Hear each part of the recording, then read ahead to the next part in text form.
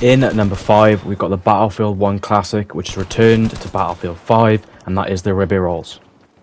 This gun is an all-round beast, being good in every single different type of department. It's got a great reload time with a 25 round magazine. The tap fire, which you will see in this clip, is very, very good, along with having one of the cleanest and one of my most favourite iron sights in the entire game. It has a great standard fire rate to accompany its damage output and its recoil pattern is very easy to control with minimal horizontal recoil and therefore the vertical recoil is super easy to control by pushing down lightly on your right thumbstick. But you'll know from watching previous videos how important I say tap fire is and the ability to be good with any gun at long range and this gun is no exception. It really really is amazing at tap fire uh, and you'll see how accurate you can be at even longer ranges than this uh, when tap firing.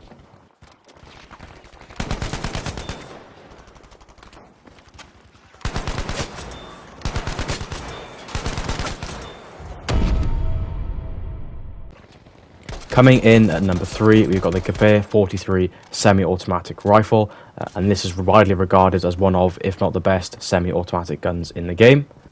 It is superior to many of the other options for semi-automatic rifles in the game, having an 11 round box magazine which is very quick to reload in comparison to some of the other rifles in which you have to reload, reload individual bullets or 5 round stripper clips.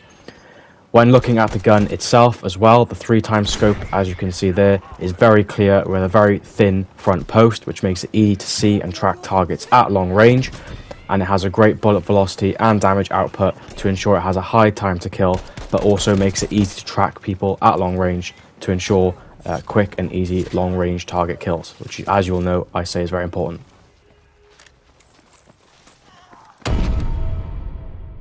In at number three, we've got the M1 Carbine. Now this was very hard to choose because I also absolutely love the Gewehr 1.5, but when you compare the two guns statistically, the M1 Carbine wins in almost every single different department.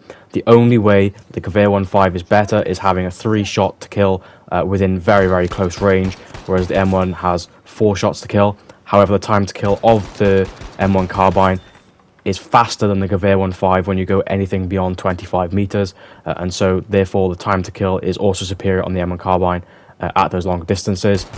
The M1 carbine is just an amazing gun all round. It's got a 31 round magazine. You can fire it as fast as you possibly can with your trigger finger. It's no it's no wonder why people with modded controllers and rapid fire choose this gun and it has no horizontal recoil with very minimal vertical recoil. It's just a great gun all around to use uh, and you really can't go wrong with it in any situational scenario. In number two, we've got the STG-44. This gun is just basically just an upgrade on the Ribeyrolles in every single different department. A bigger magazine size with 31 bullets. The tap fire again is also incredible. The iron sight is also still incredible. The reload time is still incredible. The damage output is still incredible. And, you know, of course, uh, as well, the, the, the, recoil pattern is very easy and manageable. Uh, you literally can't go wrong with it in any way. It is the Ribeyrolles in every single different department, but just upgraded in every single different department. If you don't like the high recoil patterns of other guns like the Sturmgewehr 1.5, then this gun is perfect for you. Literally anybody can use this gun, uh, and you really, really, like I said, you can't go wrong with this gun. It's absolutely incredible. Uh, as you'll see with my back to back to back to back uh, 100 plus kill games on the channel. So check that out. But this gun, you can't fault it at all in any way. And in at number one, of course, it's going to be the Sturmgewehr 1.5. This is basically the STG-44, but with a higher fire rate and a higher recoil pattern. So this is therefore the option for the more skilled players who are able to, uh, you know, to control that recoil pattern. Um, being able to control that recoil pattern means you can have a higher time to kill weapon with that higher fire rate, uh, but it's very similar to the Sturmgewehr in every other way in terms of its magazine size, its reload time, uh, etc. And of course, thanks to the higher fire rate, you can play way more aggressive than the STG-44, being able to compete with some of the higher time to kill guns in the game. And even has great tap fire with also having, like the STG-44, a semi-automatic mode which can make you perfect at long range as well.